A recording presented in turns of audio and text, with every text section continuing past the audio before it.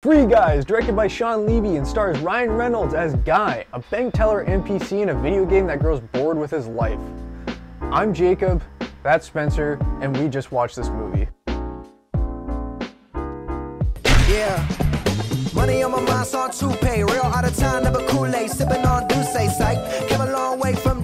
Free Guy is a really fun movie that has a lot of great humor to offer. Ryan Reynolds is entertaining in the film, even if he is just playing himself again. Where I have some issues with this movie is in a couple of areas, and honestly, it's hard to completely shit on this movie for these decisions. It was just weird watching it. One is that there's a bunch of moments where they cut to YouTube streamers sitting at their desk repeating to the audience the events that just occurred.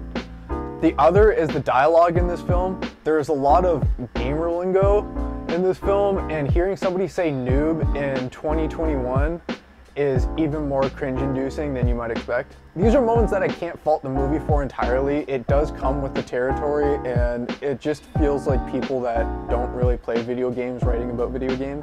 This is one of those movies that's been delayed and delayed until a theatrical release was possible.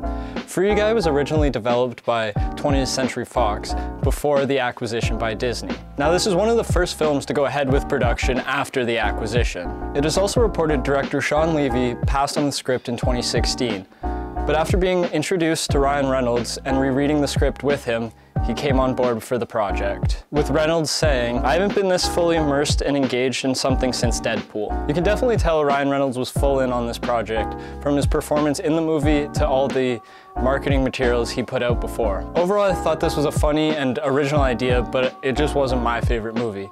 There is also mention of a sequel, but I kind of feel like that's just trolling because of the themes of the movie.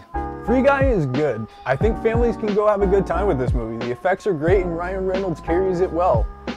After watching it for me, I just don't think I'll care to go back to see this movie again. So we're gonna give Free Guy a 7 out of 10. Yeah! Thanks for watching. Let us know what you thought in the comments down below. Don't forget to subscribe.